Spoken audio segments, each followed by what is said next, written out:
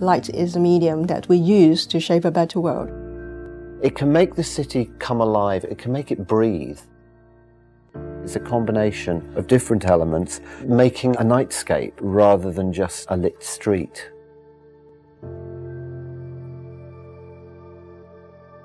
Taking light away for people means they are very limited to what they can do.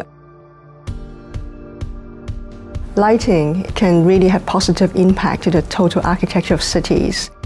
It can reinforce urban principles, but also encourage social interactions. If we create a better environment, people will tend to interact better and be part of the social scene at night.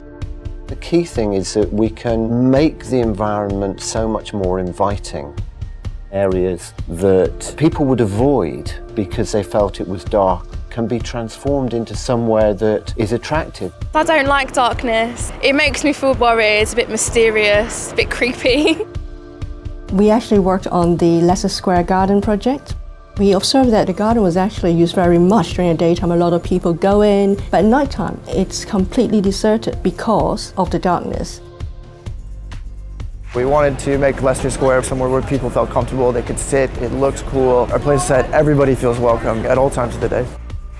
We use some grazing, we put some um, contrast, and by doing that you make people feel more comfortable, like they want to hang out here. Introducing different types of color or, or shadows, it can really speak to people in a way that is universal. You have to play with different techniques, and if you do light buildings quite beautifully, it's interesting and it's richer.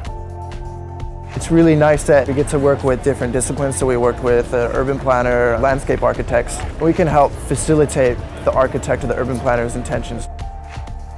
Light is definitely not just functional, so we should work with all the relevant stakeholders to be able to come up with a nocturnal context of the site. Lighting, it's a huge factor in how we perceive space at night. People aren't obtuse, they know what they want. Like if you show them bad lighting, if you show them good lighting, they understand the difference. Everything looks different, you see different colours, you see different textures, and it kind of changes the way that we live. Lighting can really change perception and can give people confidence and respect and also a quality of life as well.